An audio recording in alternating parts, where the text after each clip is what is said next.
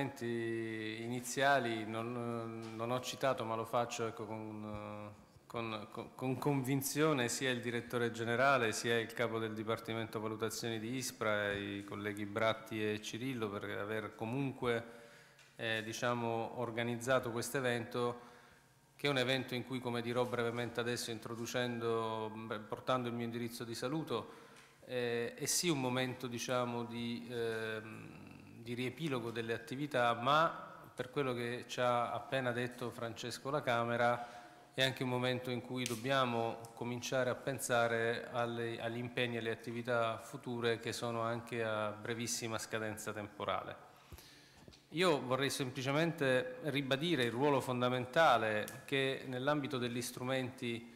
eh, che sono messi, stati messi in piedi per, eh, delle politiche per fronteggiare questo tema così attuale dei cambiamenti climatici, eh, un ruolo attuale svolto dal monitoraggio delle emissioni dei gas serra, a cui, come è stato accennato prima dal collega alla Camera, ehm, provvediamo noi di ISPRA a garantirne la predisposizione e l'aggiornamento annuale su specifico mandato del Ministero dell'Ambiente eh, attraverso anche indicazioni contenute in due decreti legislativi, il 51 del 2008 e il numero 30 del 2013, che come sapete prevedono l'istituzione di un sistema nazionale, il cosiddetto National System, relativo all'inventario delle emissioni dei gas serra.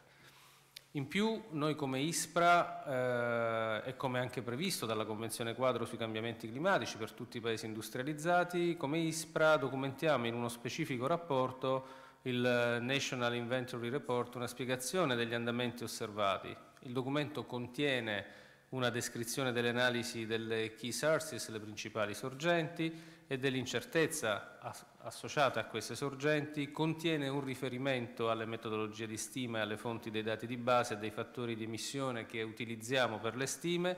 contiene un'illustrazione del sistema di Quality Assurance eh, Quality Control cui è soggetto l'inventario e delle conseguenti successive attività di verifica effettuate sui dati. Il, rapporto, eh, il, il, National Inventory Report facilita i processi internazionali di verifica eh, nei quali le stime ufficiali di emissioni di gas serra eh, vengono sottoposte a una valutazione, a una eh, verifica appunto. In particolare vengono esaminate la rispondenza alle proprietà di trasparenza, consistenza, comparabilità, completezza e accuratezza nella realizzazione, qualità che sono espressamente richieste nella convenzione che ho menzionato prima. Si tratta di un lavoro, l'inventario, che viene sottoposto ogni anno ad una review, ad una revisione da parte di un organismo nominato dal segretariato della Convenzione, quindi da un organismo terzo, che analizza il materiale prodotto e presentato dal Paese e ne verifica in dettaglio quelle qualità e la rispondenza a quei requisiti che ho prima menzionato.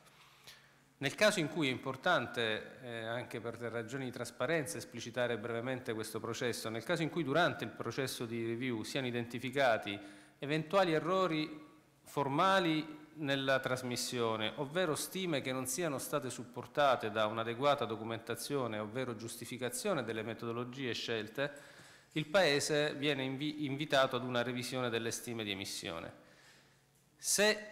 non rispondessimo a questi requisiti, l'Italia, è bene ribadirlo, sarebbe esclusa dalla partecipazione ai meccanismi flessibili previsti dallo stesso protocollo come il mercato delle quote di emissione, l'implementazione di progetti con i paesi in via di sviluppo, l'implementazione di progetti congiunti con i paesi a economia in transizione.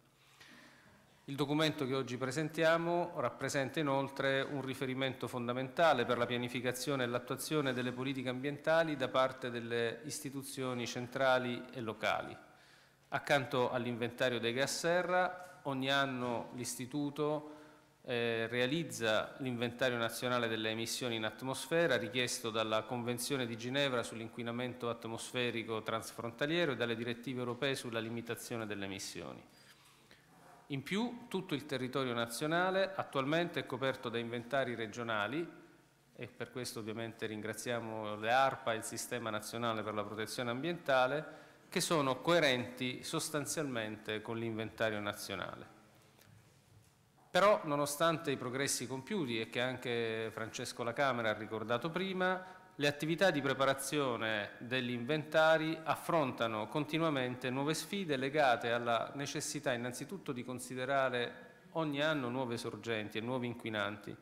e poi dalla necessità di armonizzare gli inventari prodotti per le diverse finalità di policy. Il contesto internazionale al quale facciamo riferimento per la preparazione dell'inventario nazionale costituisce certamente la garanzia per i requisiti che ho espresso prima una garanzia la, di qualità dei dati, per l'autorevolezza dei riferimenti metodologici, per l'efficacia del processo internazionale autonomo e trasparente di revisione e per la flessibilità nell'andamento alle nuove evenienze, alle nuove circostanze. Da un'analisi della serie storica dei dati dal 1990 al 2016 si evidenzia che le emissioni nazionali totali dei sei gas serra espresse in eh, CO2, in anidride carbonica equivalente, sono diminuite del 17,5% nel 2016 rispetto ai livelli del 1990. In particolare le emissioni complessive di CO2 sono pari all'81,9% del totale e risultano nel 2016 inferiori del 20,4% rispetto al 1990, mentre le emissioni di metano e di protossido di azoto sono pari a circa il 10% e al 4,2% nel totale, con, eh, e presentano andamenti in diminuzione sia per il metano, meno 11,1%, che per il protossido di azoto, meno 32,1%. Non cito gli altri gas serra perché non essendo un chimico sbaglierei definizioni e, e, contenuti, quindi vi rimando alle presentazioni di dettaglio tra qualche minuto. Vado alla conclusione eh, dicendo che gli obiettivi di riduzione delle emissioni di gas serra previsti per il 2020 sono in via di conseguimento. Questo è un dato che abbiamo già registrato da qualche anno e che possiamo confermare anche oggi, mentre quelli previsti per il 2030 potranno essere raggiunti solo attraverso degli impegni aggiuntivi di mitigazione delle emissioni nei settori che maggiormente coinvolgono i nostri concittadini e quindi la popolazione. Penso ai trasporti, al riscaldamento negli edifici, Ovviamente si tratta di operazioni e di eh, investimenti aggiuntivi che pongono seriamente un problema culturale e mettono ovviamente in discussione gli stili di vita e di consumo di ciascuno di noi. Io credo che questa sia in definitiva la sfida più importante che dobbiamo affrontare, accanto alle innovazioni tecnologiche, alle metodologie, alle modalità di costruire i nostri rapporti, dobbiamo decisamente affrontare eh, la sfida culturale di sensibilizzazione dei cittadini rispetto a queste tematiche, senza comportamenti anche singoli, oserei dire, virtuosi, orientati verso una sostenibilità ambientale concreta, le nostre migliori intenzioni, i migliori interventi legislativi, le migliori politiche, gli interventi tecnici più efficaci sono, non, non potrebbero raggiungere i risultati che si prefiggono. Allora buon lavoro e grazie ancora per la vostra presenza.